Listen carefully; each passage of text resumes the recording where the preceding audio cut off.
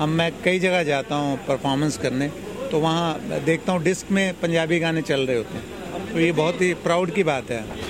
आपका दारू का रिश्ता बहुत रहा है। क्या चक्कर क्या है ये? मैं वो दारू का रिश्ता इसलिए रहा क्योंकि मैं पीता नहीं था।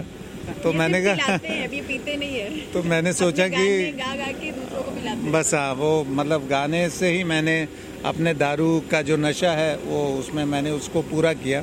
तो ये रिश्ता ऐसा रहा कि क्योंकि एक गाना अच्छा हिट हुआ पानी शराब में, फिर दूसरा चला, तीसरा तो वो लोगों को वो डिमांड बढ़ती गई और मैं दारू से जुड़ता गया। लेकिन अभी तो कुछ और ही